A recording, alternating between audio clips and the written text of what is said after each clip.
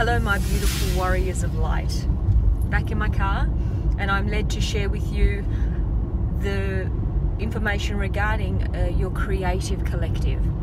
So, your creative collective, in simple terms, is basically the people you surround yourself with and what you are creating as a group. This could be your partnerships, your business relationships, your friendships, uh, even the meditation circle you might attend. So, what I am led to share with you is basically that the creative collective you surround yourself in is going to be what you will create. So, in essence, to be married up with similar ideas or to create an amazing outcome or whatever it is that you are wanting to manifest in your life, you must surround yourself in people that have the same creative thoughts, intentions as you. If they are misaligned, then the creative collective manifestation may not come to fruition.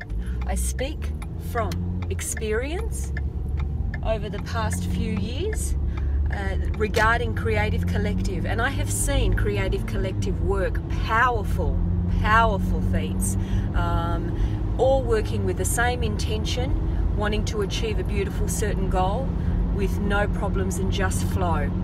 And I have seen and, and experienced Creative Collective that is also misaligned with two or three of the parties all having intentions that are slightly different. So I encourage you and I share with you today the fact that surround yourself in the creative collective that you wish to manifest.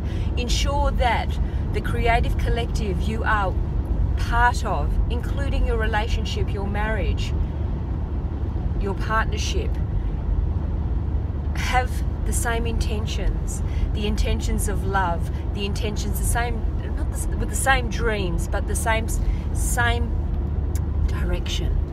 Because we are all unique, and our journeys are all unique, and our experiences are unique but we can have a similar dream, goal, intention for the greatest good of all.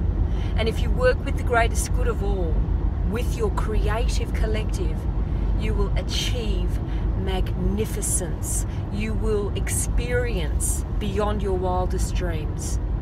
May you go in peace. May you go in glorious strength and power and love and go create with a collective that resonates on your frequency and love and create and intend. And that's it for today. God bless, peace. Talk to you soon. Bye.